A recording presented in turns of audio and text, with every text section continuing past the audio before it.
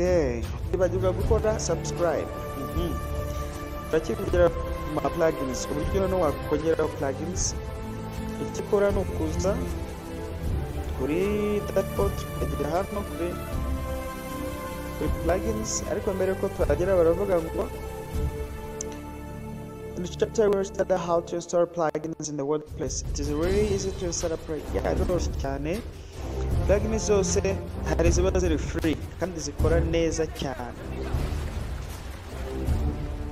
Uh, bakubwira ngo ubu ni uburyo noneho ushobora kuinstara kuko tugiye kuri install plugins hariya hejuru uraza wizira hano kuri plugins.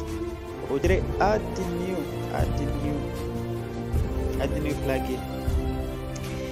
Iyo uri kuri network cyangwa se uri connected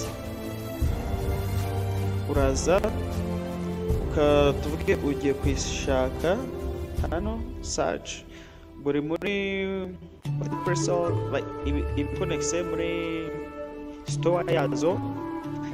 Noneho iyo ushaka hano all in one search engine optimization pack tuvuge ngo urashaka kugira iyi ngiyi uraza hano hari install. Akangaka hit install imaze kwinstara ubu hano iri kwinstaringa uzahita ubibona kuri aka kwinstaringa nimara kwinstara hano ukiri hano hejuru nugira add add plugin hariya ugiye kuyinstara install now uzabona. Noneho nirangira kwiyinstara uzahita ubona akantu kameze gutya. Yarangije kwiyinstara uhita ugira activate plugin uyakitive itangire gukora. Cyangwa se hano barakubwira ngo return to plugin installer. Return to plugin installer akangaka iyo hari n'izindi ushaka kwinstara na zo uragenda ugashyiraho.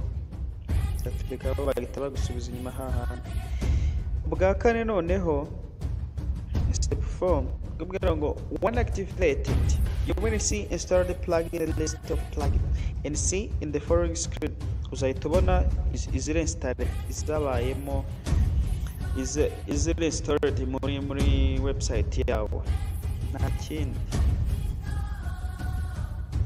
iri active iri active twayiactivated nta kindi